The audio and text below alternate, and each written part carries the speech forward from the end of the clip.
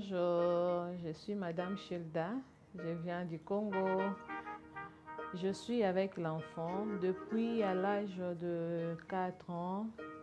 J'ai constaté la malformation chez l'enfant. Je vois comme si la vie de l'enfant est vraiment en danger.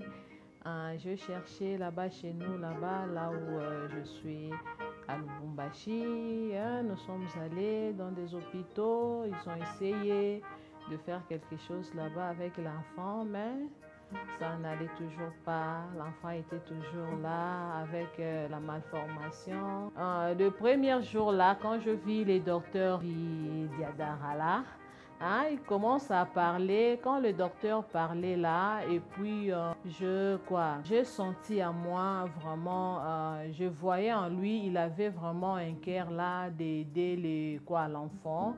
Miss Kenaya, a nine year old child, came from Congo with the presenting complaints of progressive deformity noticed by her mother, and the deformity of the back was increasing at an alarming rate, and they were clueless as to what to do with her. Whichever hospital in the world they contacted, the cost of treatment was very huge. They did contact us via email and we did communicate with them in multiple instances explaining the exact condition the treatment involved the approximate cost involved and we did mention that we would help them to the maximum possible extent as they were traveling all the way from congo.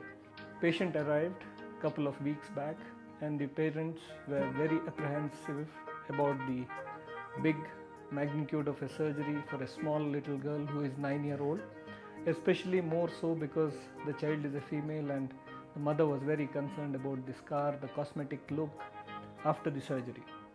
When we explained everything, we showed them some other children with similar problems. They got convinced, and finally, the day came wherein they got admitted. The next day was the surgery, and as planned by pre-operative workup, everything went smooth, and we could finish the surgery in four hours time. The child tolerated the procedure very well. We used 22 screws and two rods to connect her bones and contoured the rods to get and recreate normal anatomy.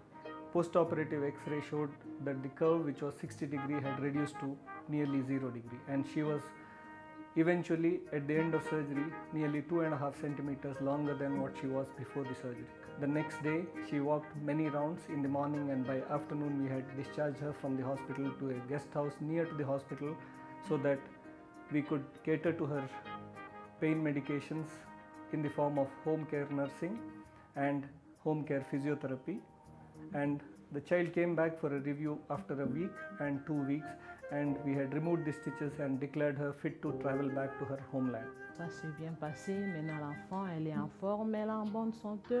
Merci aussi à l'hôpital Manipal qui nous a reçus ici. En tout cas, on était ici à l'aise. Que le Seigneur vous bénisse. Merci vraiment pour votre travail. Que le Seigneur vous bénisse. Je remercie aussi le docteur Diadra et je remercie le Seigneur parce qu'il m'a donné la bonne santé. Bientôt là, on rentre à la maison avec maman.